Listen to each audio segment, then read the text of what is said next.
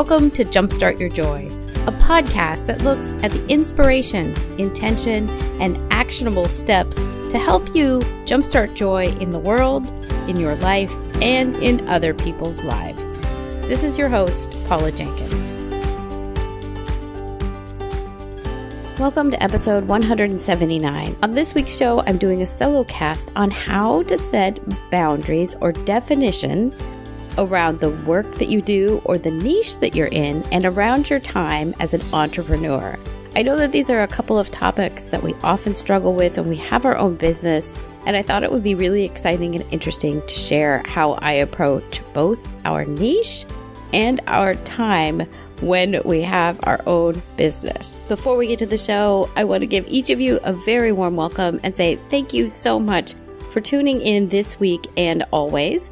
My name is Paula, and I am the host of the show.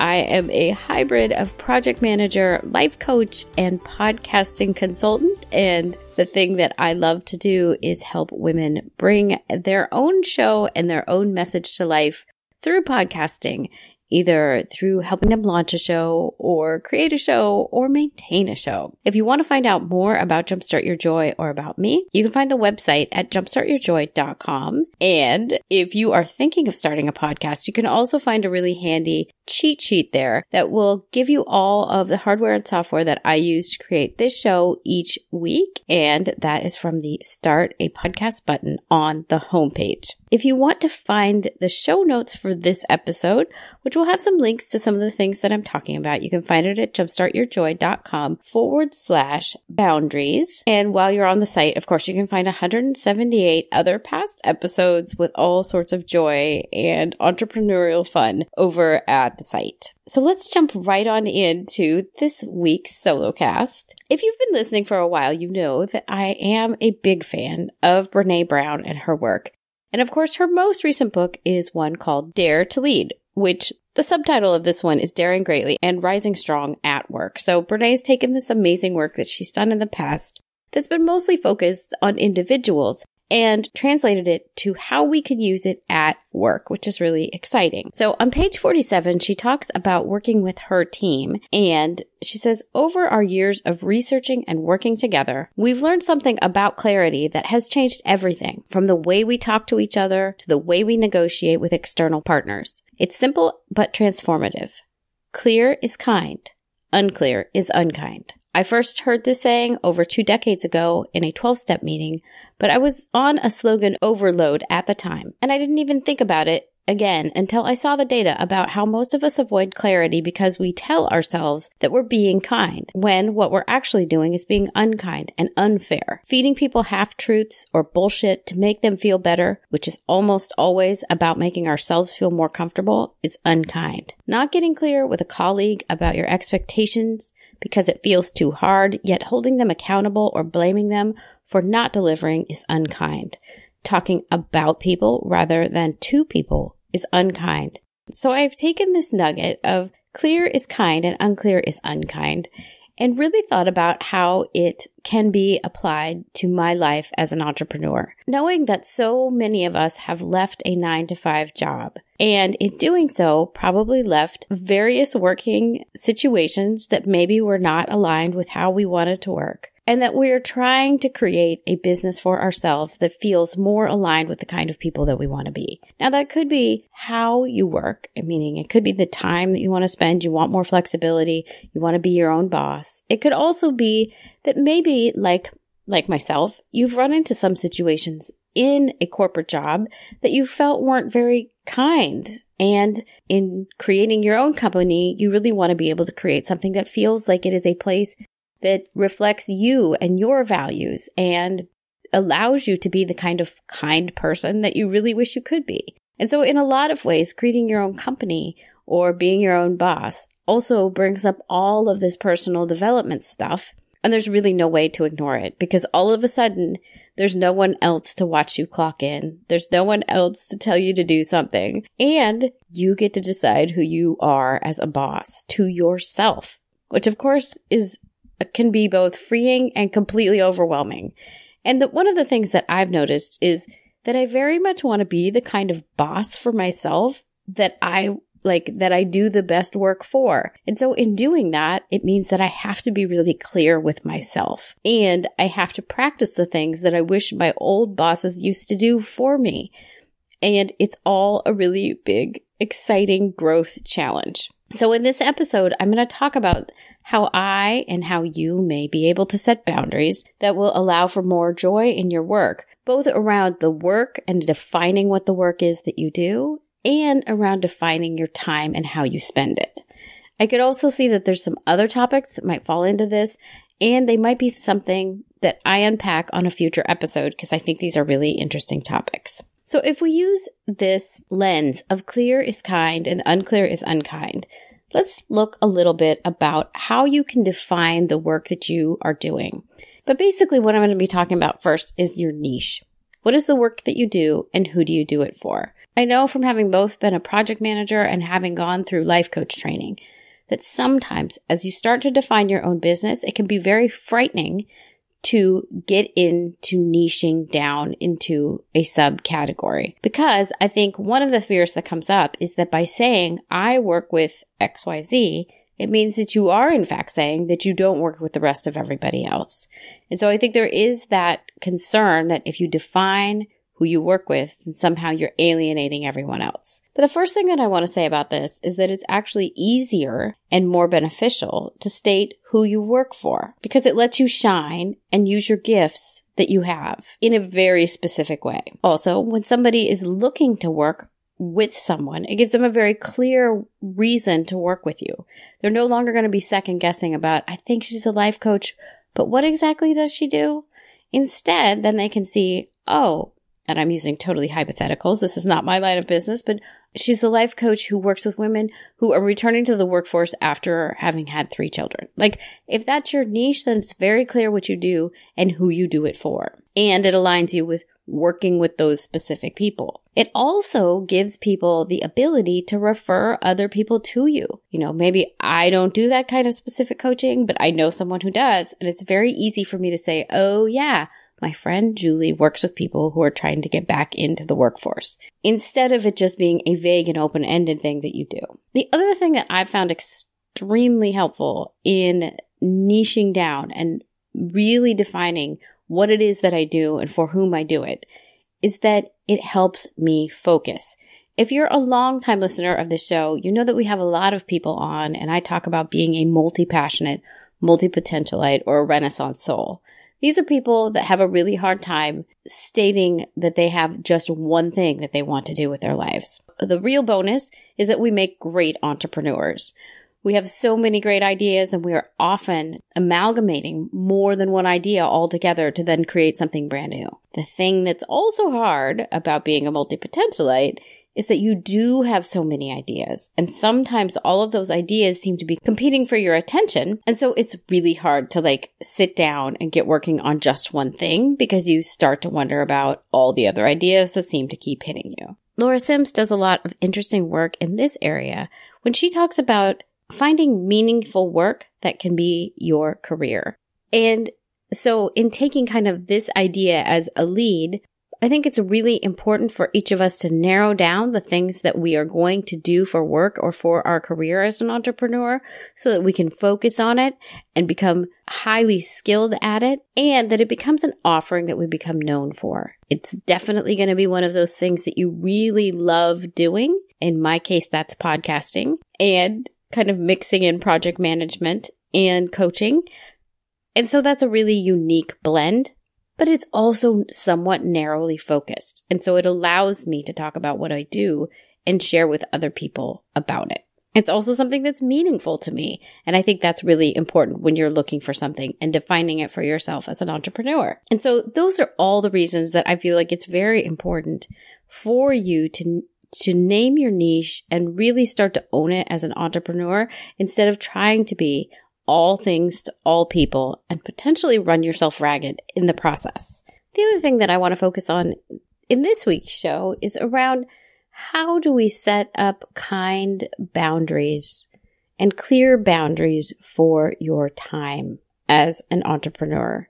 And that is both around the time that you are working each day, the time that you are available for work, And how do you set that up to really honor and build in self care? Because I know from having gone from a corporate schedule, which is of course very structured and you know what to expect, into a more open ended and free flowing schedule when I work for myself that it is important for me to set up boundaries. And so what I'll go through for the second half of this episode is some of the tactics, so tips and tricks almost, that you could embrace or kind of modify for yourself and use to create more structure in your day around your time. Because I know as a perfectionist and as someone who is definitely an overachiever, it's very easy to find myself working long hours without a very clear cutoff time that I can just go to bed. That's where I'm at one day. But I think putting some of this structure in place will allow you to also become the kind of kind boss and the kind of person that you wanted to be when you started this entrepreneurial journey. One of the ways that I have found to extend this kindness as far as time and boundaries go for myself is to set up clear start and end times for each day. And I'm going to admit that these can be somewhat flexible. Could be that different days of the week have a different start and end time maybe, you know, that might even change over time as well, but really setting up the structure for myself of I start work at this time and I end work at this time for this day. And to make the very clear break of I log on and then I shut the computer and I log off. I think this is really difficult because as perhaps perfectionist or an overachiever, it's super easy to want to put in more time. It's also really easy because you're on your own to want to to answer that one last client email that comes in at 6:30 or 7, but I encourage you deeply to resist the urge to respond, especially when something comes in after the hours that you have set for yourself because clear is kind and unclear is unkind.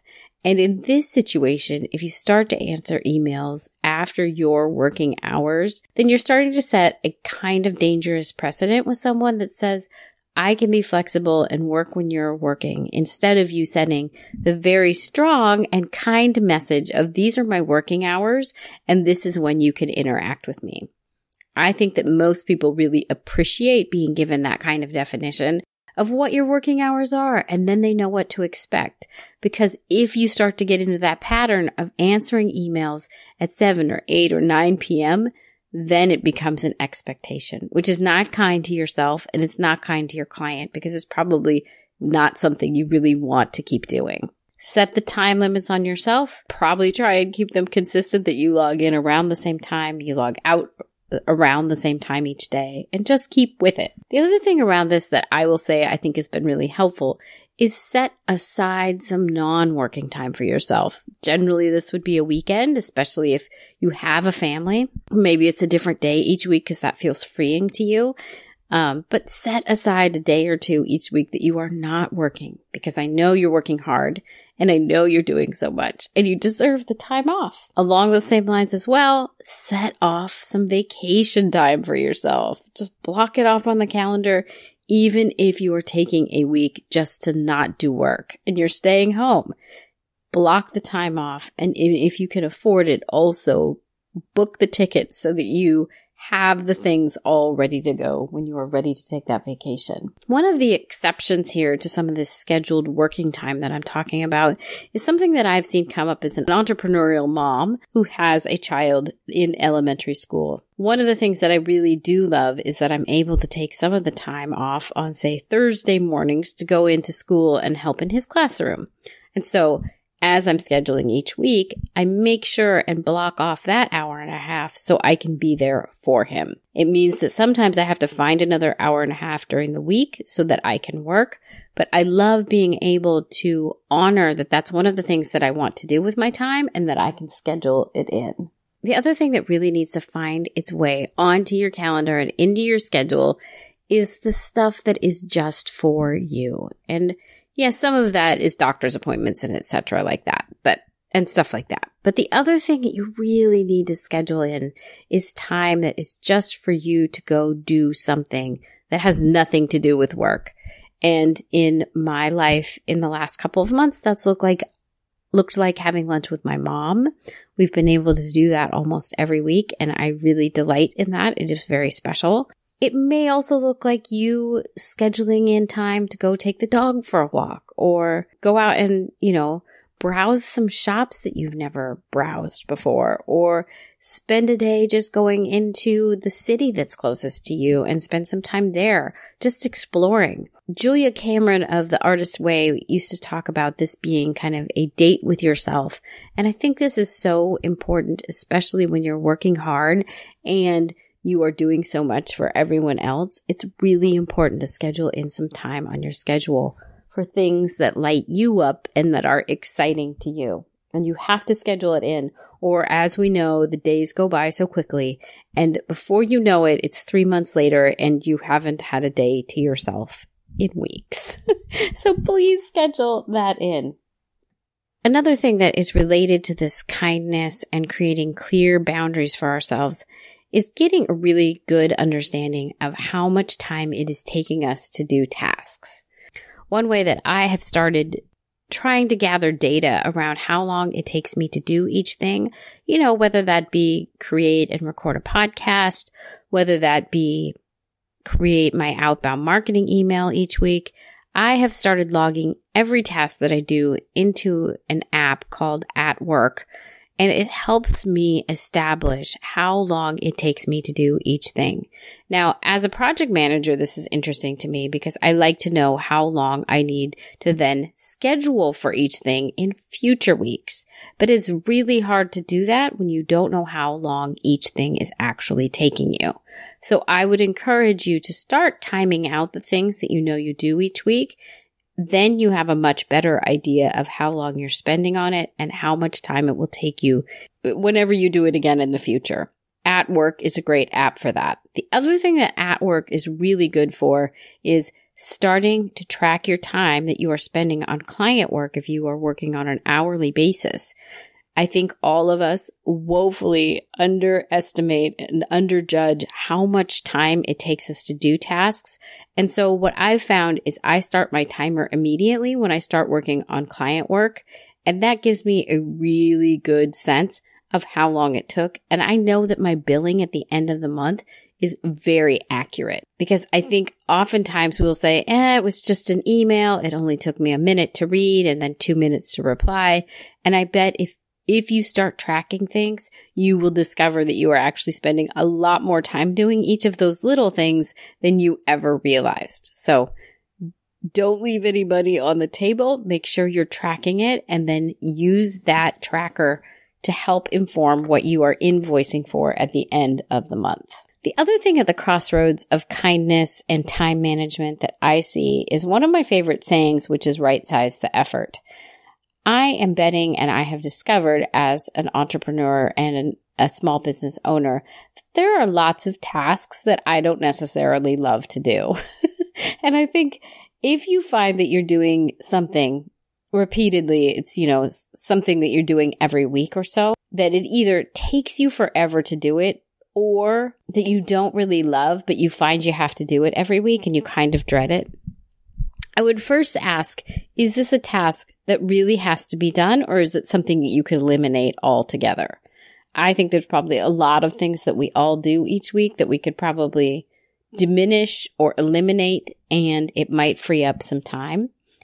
And I think that would be a great kindness to yourself. if you really don't need to do it, just let it go.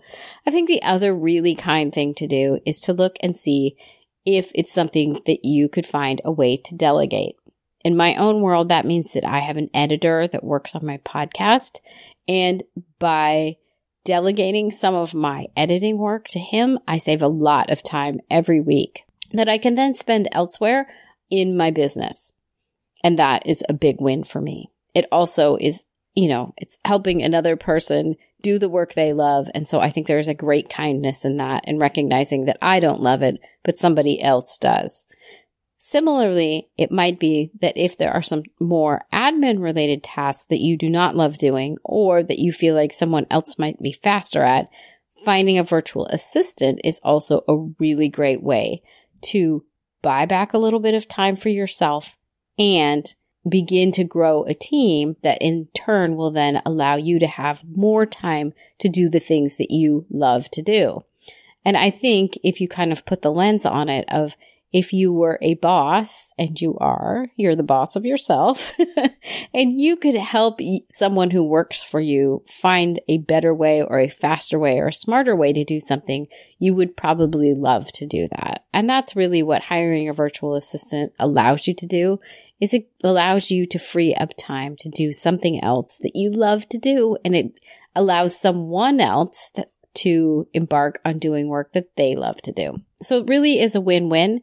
And I think we'll talk more about teams in another episode, but I just encourage you to start thinking about who and how you might be able to delegate work to, even if you aren't currently. I'll say for my own world, my life changed when I decided to get a virtual assistant. And it has been a really amazing thing to be able to bring someone else on and do some of the work that I used to do.